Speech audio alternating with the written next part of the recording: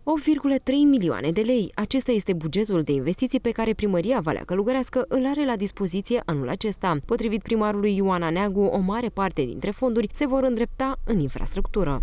Am propus suma de 8 milioane 300 de mii pentru anul acesta, în principal în infrastructură, Edilul localității a ținut să precizeze că multe dintre proiectele de investiții vor fi realizate cu fonduri guvernamentale și europene. Pe lista de investiții figurează modernizarea unităților de învățământ, extinderea canalizării, dar și construirea unui bazin de not.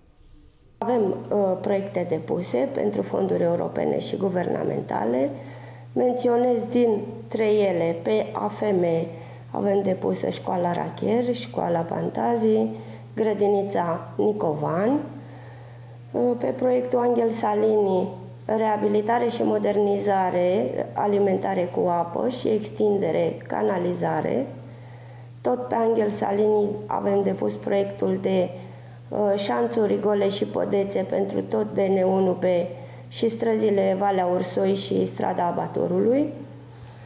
Pe CNI avem creșa care e deja aprobată.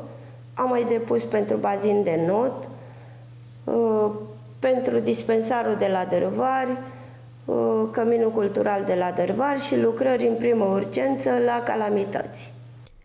Bazinul de not reprezintă una dintre investițiile mult așteptate de locuitorii din Valea Călugărească. Acesta va fi realizat în apropierea unei păduri, zonă în care va fi construit și un parc în care tinerii și nu numai să poată să se relaxeze.